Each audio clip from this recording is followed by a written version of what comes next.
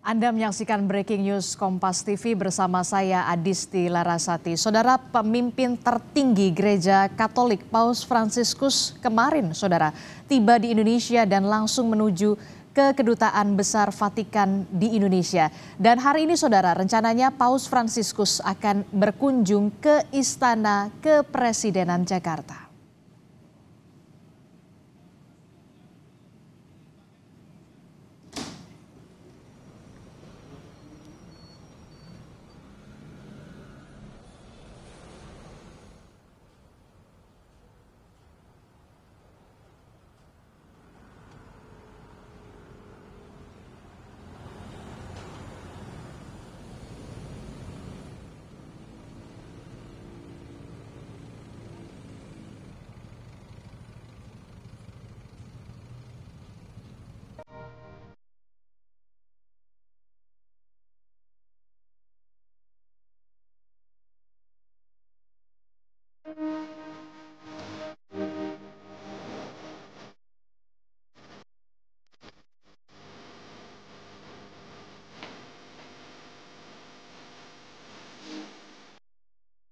Kedatangan pemimpin gereja Katolik dunia, Paus Fransiskus saat kunjungan apostoliknya di Indonesia dari 3 sampai 6 September 2024 disambut sukacita.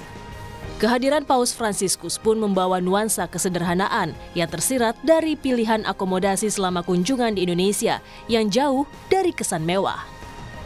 Mulai dari penggunaan pesawat komersil ke Indonesia, mobil yang biasa dipakai orang Indonesia selama kunjungan hingga menginap di kompleks kedutaan besar Tahta Suci Vatikan. Nilai inilah yang juga diakui Menteri Agama Yakut Holil Koumas sebagai hal yang patut dicontoh. Sebab Paus Fransiskus bukan hanya pemimpin agama, tapi juga pemimpin negara yang mengutamakan kesederhanaan. Dan tentu saya atas nama pemerintah menyampaikan selamat datang kepada Paus Fransiskus ya di bumi Indonesia, di bumi Pancasila, di bumi keragaman, dan di bumi yang bineka tunggal ika. Saya kira itu. Saya kira ini luar biasa kesederhanaan beliau. Beliau contohkan bagaimana menjadi, karena beliau ini kan bukan hanya pemimpin agama, tetapi juga pemimpin negara. Gitu kan. Beliau ini pimpinan tahta suci Vatikan, dan dengan kesederhanaannya beliau tunjukkan itu. Beliau tunjukkan bagaimana beliau memilih kendaraan pun dengan cara yang sangat sederhana gitu. Dan ini patut untuk dicontoh.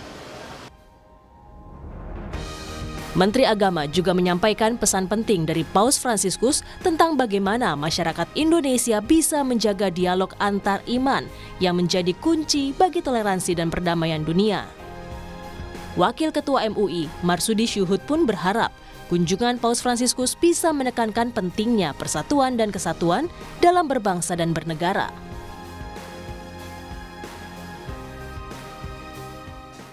Judul beliau yang mulia datang ke Indonesia adalah untuk persaudaraan. Di kita ada namanya persaudaraan uhwah basariyah atau uhwah ih insaniah, persaudaraan antar manusia, persaudaraan antar kemanusiaan ini yang kita akan bangun bersama. Tak hanya membawa sukacita bagi umat Katolik di Indonesia, kunjungan Paus Fransiskus menjadi momentum bagi umat beragama untuk menegaskan komitmen dalam membangun perdamaian. Tim Liputan, Kompas TV.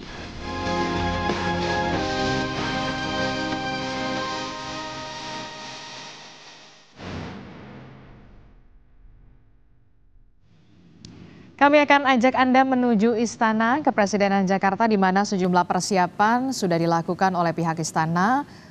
Beberapa delegasi dan juga pemerintahan dalam hal ini adalah jajaran dari pemerintahan ini sudah berada di istana dan rencananya memang saudara pada pukul 10.30 waktu Indonesia bagian barat pemimpin tertinggi umat Katolik atau pemimpin tertinggi gereja Katolik Paus Fransiskus akan bertemu atau menemui Presiden Joko Widodo, saudara.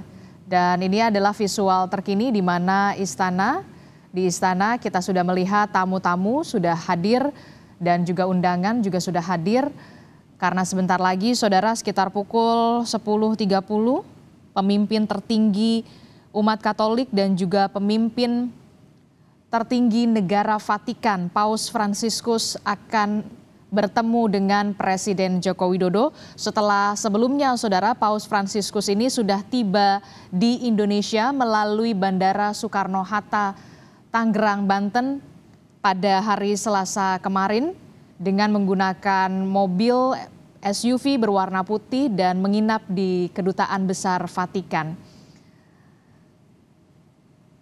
ada serangkaian kegiatan selama kunjungan Paus Fransiskus ke Indonesia sejak hari Selasa hingga hari Jumat ini, saudara, yang hari ini pada hari Rabu 4 September 2024, Paus Fransiskus akan dijadwalkan bertemu dengan Presiden Joko Widodo untuk membahas soal kerjasama bilateral dan juga hubungan diplomatik yang selama ini sudah terbangun antara Indonesia dan juga Vatikan, saudara. Sementara keesokan harinya pada hari Kamis, Paus Fransiskus akan melakukan pertemuan antar agama di Masjid Istiqlal tepatnya di terowongan silaturahmi saudara dan nantinya juga Paus Fransiskus juga akan memimpin misa di Gelora Bung Karno Senayan Jakarta. Bagi umat Katolik Indonesia, tentu saja kedatangan Paus Fransiskus merupakan hal yang paling ditunggu-tunggu, mengingat kunjungan terakhir ke Indonesia ini dilakukan pada tahun 1989 melalui kunjungan Paus Yohanes Paulus II. Sementara pertama kali kunjungan ini pada tahun 1970 melalui Paus Paulus ke-6.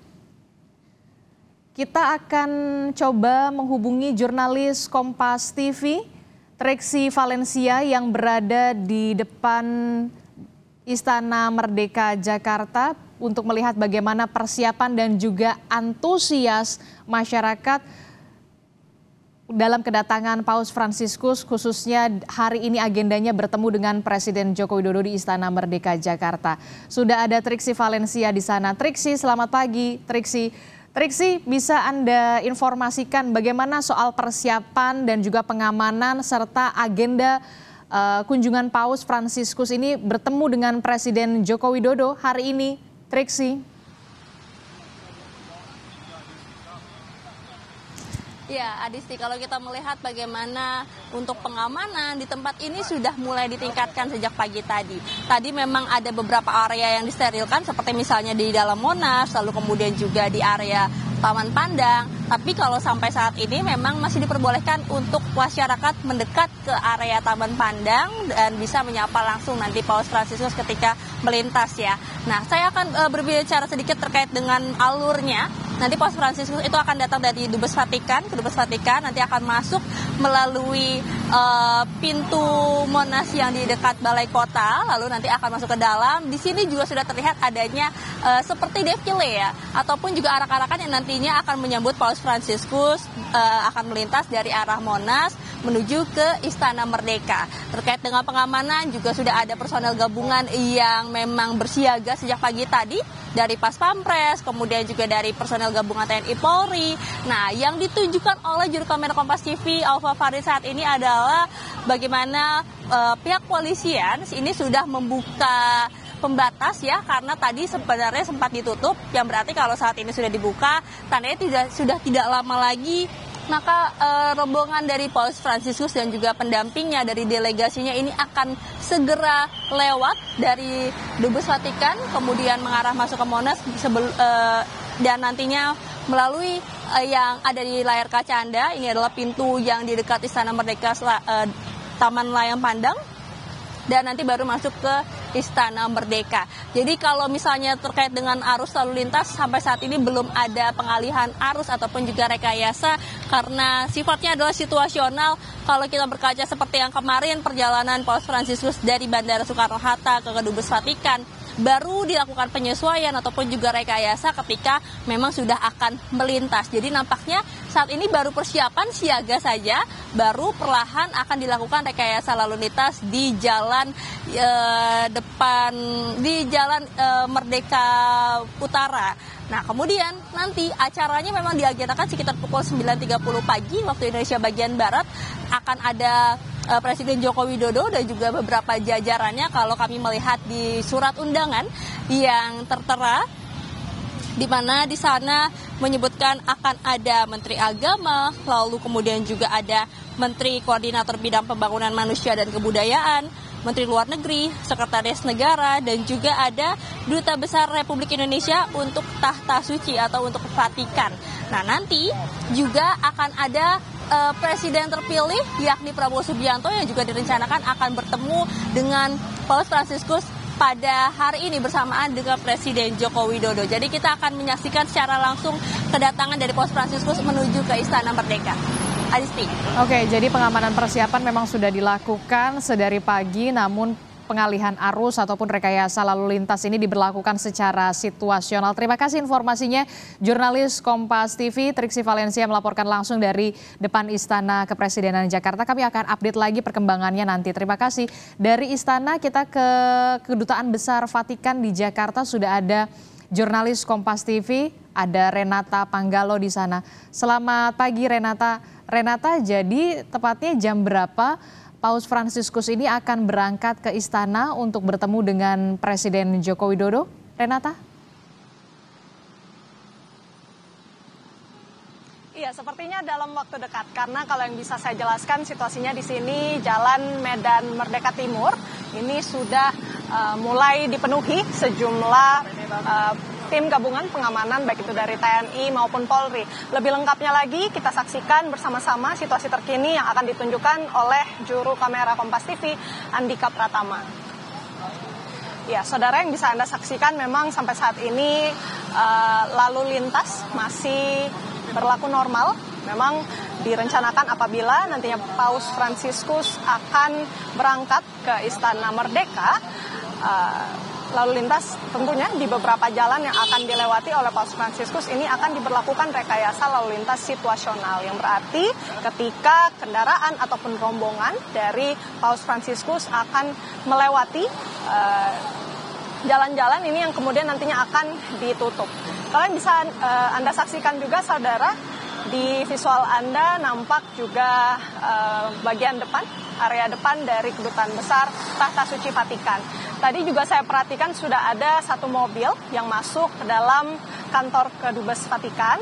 Nampaknya ini sudah mulai ada persiapan karena kalau yang kita terima eh, jadwal penyelenggaraan dari kunjungan kehormatan kepada Presiden Joko Widodo ini akan dimulai sekitar pukul 9.30 yang dimulai dengan sambutan terlebih dahulu, penyambutan secara kenegaraan.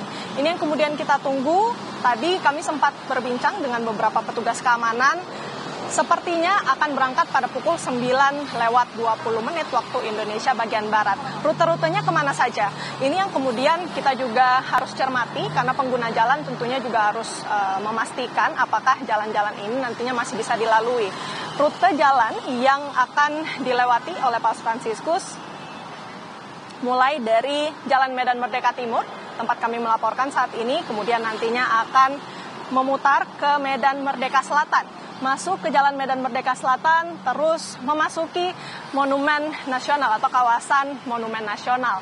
Artinya setelah keluar dari Monumen Nasional, ini akan menuju ke Taman Pandang dan langsung masuk ke pintu Istana Merdeka. Jadi jalan-jalanan tadi juga tentu harus diwaspadai oleh pengguna jalan. Selain itu juga yang bisa kami sampaikan di sini sudah begitu banyak warga Indonesia yang tidak sabar untuk kembali berjumpa dengan Paus Fransiskus setelah tadi uh, kemarin siang maksud kami Paus Fransiskus terlihat uh, duduk di mobil uh, sipil jenis SUV berwarna putih ia duduk di depan di sebelah kiri kemudian melambaikan tangan dan sambil tersenyum. The Smiling Pope, itulah julukan bagi Paus Franciscus dan nampak sekali bahwa memang Paus Franciscus itu begitu ramah dengan warga-warga Indonesia. Bahkan ada yang tersentuh ada yang menangis terharu saking bahagianya menyaksikan Paus Fransiskus yang uh, melewati sejumlah jalan di Jakarta. Nah, tadi ada beberapa jalan yang saya sampaikan, ada di Jalan Medan Merdeka Timur, Jalan Medan Merdeka Selatan, kemudian masuk ke Taman uh, Monumen Nasional. Nah, itu ada beberapa jalan yang mungkin bisa uh, dipastikan akan dilewati oleh Paus Fransiskus. Bisa saja Anda saudara bisa bertemu dengan Paus Fransiskus sambil melambaikan tangan. Tentunya apa namanya harus memerhatikan juga Eh, standar keamanan. Kalau kemarin kami sempat mewawancarai Kapolres Metro Jakarta Pusat, warga sipil itu harus uh, menjauh ya harus menjauh sekitar 50 meter. Ini yang kemudian juga kita harus hargai untuk uh, kenyamanan bersama baik itu pengguna jalan ataupun warga yang ingin men, uh, menyapa Paus Fransiskus saat berjalan ke uh, Istana Merdeka. Sampai saat ini kami masih menunggu uh, Paus Fransiskus rencananya akan berangkat dari Kedutaan Besar Vatikan pada pukul 9 lewat 20 waktu Indonesia Barat. Ya baik, kita akan nantikan bersama Paus Fransiskus rencananya akan menuju ke Istana Merdeka Jakarta untuk bertemu dengan Presiden Joko Widodo dari Kedutaan Besar Vatikan di mana Paus Fransiskus kini eh, setelah kemarin tiba di Indonesia melalui Bandara Soekarno-Hatta Tangerang Banten ini uh, bermalam di Kedutaan Besar Vatikan Jakarta dan hari ini saudara rencananya Paus Fransiskus yang merupakan pemimpin gereja Katolik dan pemimpin Katolik sedunia ini akan berkunjung atau menemui Presiden Joko Widodo di Istana Merdeka Jakarta. Saudara, informasi lebih lengkapnya akan kami hadirkan usai jeda. Tetaplah bersama kami dalam Breaking News Kompas TV.